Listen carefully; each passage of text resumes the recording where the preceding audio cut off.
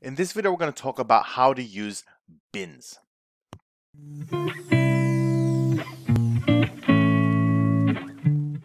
Here we are for another Tableau video, and I'm very excited to, you know, still be making these videos after so long. So just want to say thanks to everyone who keeps kind of tuning in and watching. For those of you who are new to the channel, be sure to hit that subscribe button and the notification bell so you get alerts when I publish new videos every Tuesday, Wednesday, and Thursday. So let's begin. So we're going to start where we always start, which is the data set. So what I have here is a data set of just some people's names, some random names that I found, right? Completely made up, right? And if your name happens to be in here, it's just it's just a wild coincidence, all right? It's just a coincidence. Um, and then we have some values. And basically what I want to do is for this, like, I don't know, 900, 800 rows of data, is we're going to apply what's called a bin. Now, if you've never heard what a bin is, I'm going to show you. So let's close this up, save that, and let's load up the dataset. Also, if you want to follow along with this uh, tutorial, the dataset is available in the description below. So let's bring that in. Okay, and let's go straight into sheet one. Okay, so what is a bin, right? So you you probably watched some of my videos before, but let's make this a bit of a refresher and kind of why we do bins. Sometimes it's like people just do it, but they don't really know why they're doing it. They just do it. So let's say I have my customers and I bring them in and it's a very long list, okay? And I'm going to bring the quantity in like so. And you can still see it's a very long list. Now, maybe I can sort this. Let's say I go highest to lowest using this button right here. All right, and I'm going to add the label in. As, let's say, a manager or someone that you're trying to communicate information to, this isn't very helpful. Number one, I have to scroll, and it doesn't really give me an overall view of what the data looks like. So it's hard for you to say like, well, a majority of, you know, 80% of our user base have a quantity of this much, right? So you can't kind of get the kind of the sound bite of what is the data actually telling you. So bins come in really handy. So let's do it artificially so you can see. Um, all right, so let's say I wanted to group these. I want to go, okay, um, uh, uh, let's go highest to lowest actually. Uh, lowest to highest. Let's say I wanted to group these and I want to group it every 10 people. So I want to be able to say how many people have a quantity between 0 and 10. Well, it's going to be these ones. And then I want to get a count.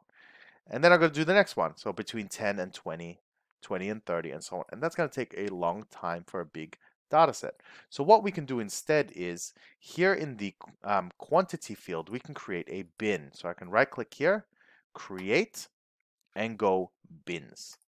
In here, I can say, well, how big is my bin or my bucket? I can just say 10 like we did before, uh, like we said before, and go OK.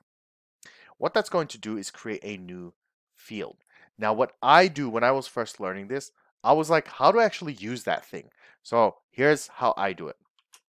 Once you have the bin, you no longer need this quantity because you got to kind of think that that is embedded in there. It's already inside. So start by getting rid of that. Like so. The next thing we want to do is we're also not interested in individual names. What we're interested in is individual uh, the number of customers, right? So we can change this one from dimension to a measure with count. To go OK, and we should just end up with a single number. And then we can bring this quantity bin in. And what that's going to do is it's going to drop those 793 in their respective buckets like so. So now what I can actually say is, wow, a majority of our user base have a quantity of uh, between, you know, what's that? So this is 0 to 10. So this is 20 to 30, and this is 50 to 60. Right? So they're all, a majority of them are between 20 and 60, I would say. Right? It's much easier to tell that from this kind of view. And this is actually called a histogram. And I remember being told once that a histogram, they should all be touching, right? It's a statistics statistics thing apparently. So yeah, if you want to do that. So that's how you use your bins. Now the question I got from a student, um, and I couldn't find the um, the message in some of the comments and stuff like that, but the question was, can I do bins on a function? right? Something that's been calculated. The quantity field itself here is part of the raw data set. So let's let's do it, right? So I'm going to do a new sheet. I'm going to go create calculated field and I'm going to calculate off this quantity. So we're just going to say quantity manipulated. Now you can do whatever you want to this field so long as the final result is a number.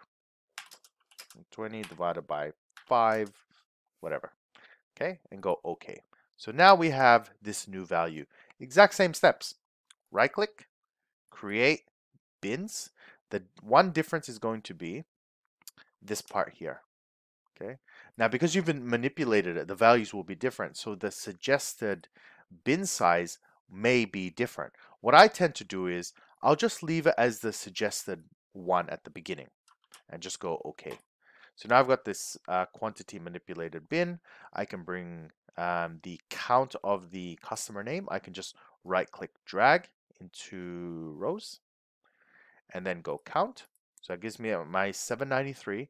And I'm going to bring this quantity bin manipulated into columns. And there you go. It's done. It's another histogram based on a calculated field. Okay, so it's as easy as that. I mean, I love using this th this thing because it can compress data so well. So that is it for this video. If you like this video, be sure to hit that like button. It really helps with um, growing the channel and spreading Tableau and teaching a lot of people about how to get into data. If you want to learn way more about Tableau, I do have courses. It is in the description below for my Udemy course. Soon, I'm going to have my own website with like the newer versions of courses, which is like I think it's even two or three times larger than the original Udemy course, which has now had I don't know twenty five thousand people or something like that. Yeah, so huge. Anyways, hope you guys enjoyed, and I will see you next time. Bye.